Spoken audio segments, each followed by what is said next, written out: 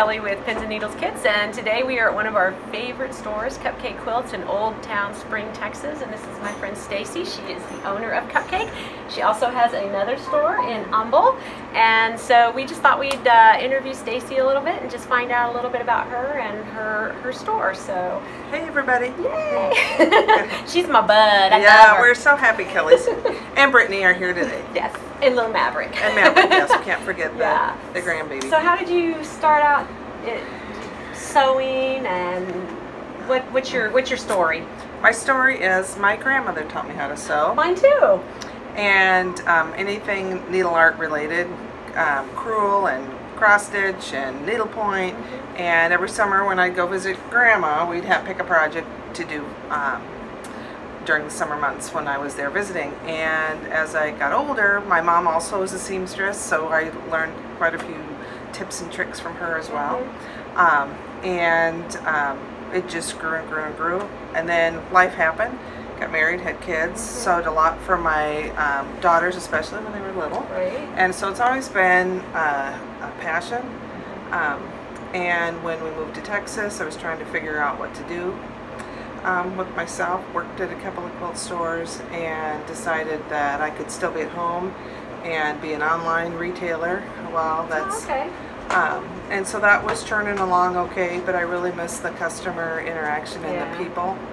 So we went to a festival, uh, International Quilt Festival in, the, in downtown Houston uh, four years ago when we didn't have a store, and everyone said, "Oh, you got to have a brick and mortar." So um, fate intervened, and we found this little red schoolhouse building that was for rent in Old Town Spring, and um, that's cool. where we started about three plus years ago. And you're a long arm quilter? I'm a long arm quilter. Okay.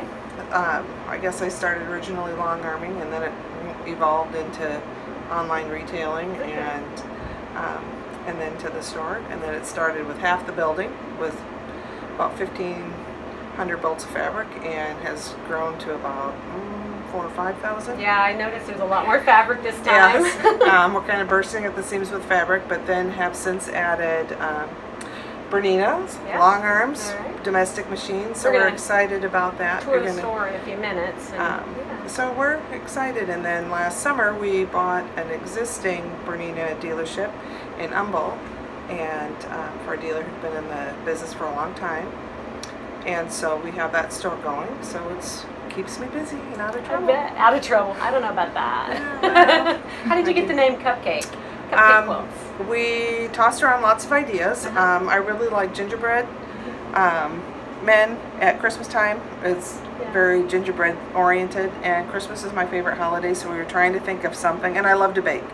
So we are trying to think of something catchy and gingerbread quilts seemed too Christmassy. Yeah. So yeah. Um, a friend I worked with at the time said, "What about cupcakes?" And I'm like, "Oh, cupcake quilts." Everybody loves cupcakes. And it's easy to remember. Yeah. And a lot of times people drop the quilts, and it's just, "Let's go to cupcake."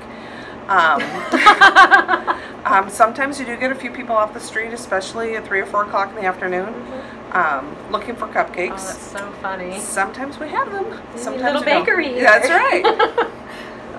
So next door we'll have a bakery okay. in the back. Yeah. yeah, you need one more thing. Yeah, exactly. well, thanks for letting us talk to you and You're letting welcome. us walk around your store and show everybody what you have. And um, I'm sure we'll be collaborating yes. at some point. We have some ideas yes, going on between Cupcake and, and Pins and Needles, so we'll let you know that in the future. And we're so. very excited. So. Yeah. All right. All right. Thanks, everybody. Thanks. Bye.